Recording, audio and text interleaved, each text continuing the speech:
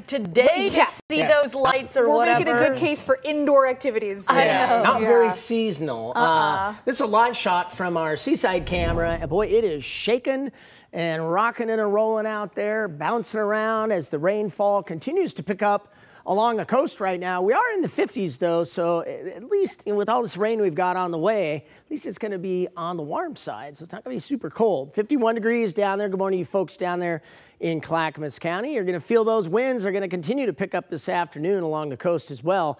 Current conditions here in downtown Portland, you see the rain beginning to fall there. These are scattered showers right now. This is not the main event yet.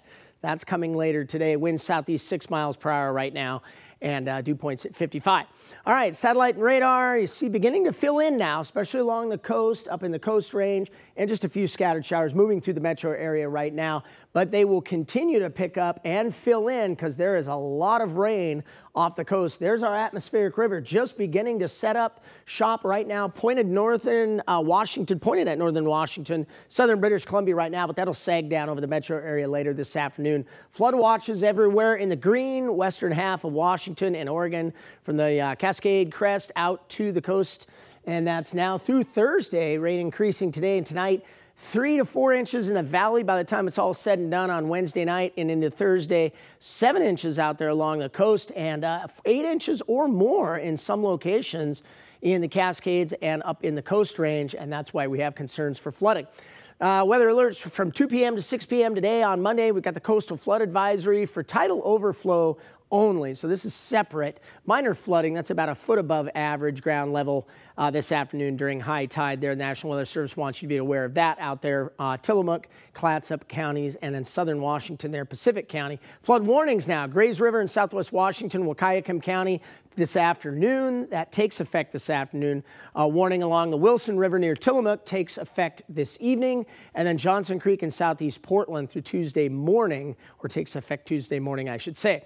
All right, weather alerts. Yeah, we got more. We got a wind advisory, the western valleys, Portland, Vancouver area down to Salem. Winds gusting this afternoon and evening 15 to 30 with uh, sustained 15 to 30, gusts 35 to 45. That's along the coast as well.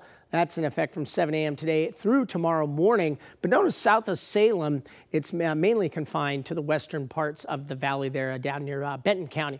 All right, wind gusts forecast. We'll bring this forward this afternoon. Here's 2 o'clock. See the winds gusting 35, 40, 45 along the coast. They pick up in the valley 25 to 35 miles per hour. They continue that way this evening, pick up just a bit.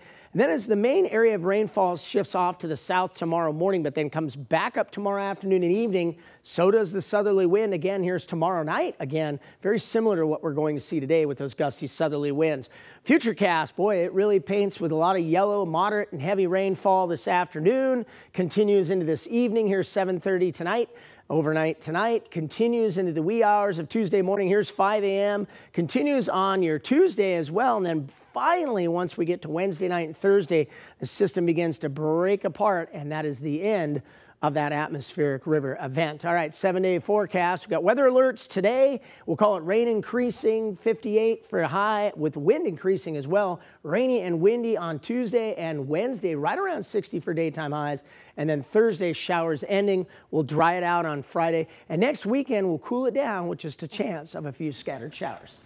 All right, Steve, thanks so much.